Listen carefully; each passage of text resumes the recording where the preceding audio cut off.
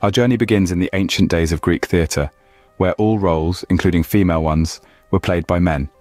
This was not due to a lack of talented female performers, but rather societal norms that deemed the stage unfit for women. Fast forward to the Elizabethan era, we find a similar practice in Shakespeare's plays.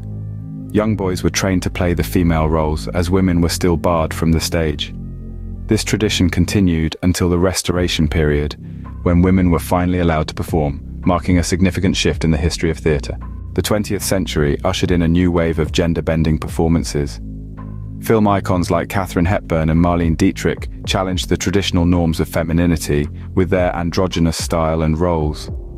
Meanwhile, actors like Dustin Hoffman in Tootsie and Robin Williams in Mrs. Doubtfire delivered unforgettable performances playing female characters. In recent years, we've seen an increasing number of actors exploring roles that defy the binary concept of gender. One notable example is Eddie Redmayne's transformative performance in The Danish Girl, where he played Lily Elbe, one of the first known recipients of sex reassignment surgery. Also worth mentioning is the growing representation of non-binary and transgender characters in film and television. Pose, for instance, boasts the largest cast of transgender actors in series regular roles.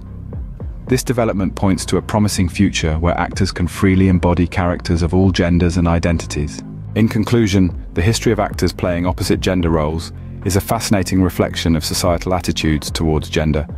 From the male-dominated stages of ancient Greece to the diverse and inclusive platforms of today, we've come a long way.